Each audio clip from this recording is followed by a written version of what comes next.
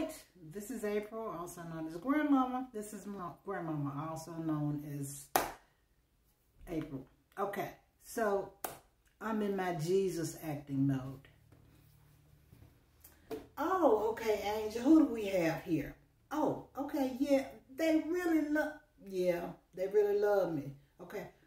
But you said, wait just a minute. Oh, when they were in North America, there was going to be a friendly fire. And they knew that their cousins and their brothers were going to come against my beloved, my crown jewels, my praise, Judah. So they rose up against Judah. Is that what you're telling me, Angel? Hmm. So, well, surely they don't think they're going to see me happily. Surely not.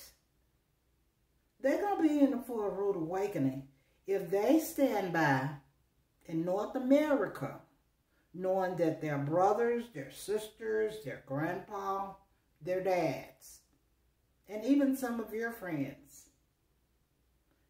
in spite of loving the Lord, we don't operate like that.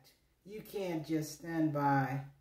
Read the book of Esther, okay? Figure out what they did because they knew that Yah was the Most High God, okay?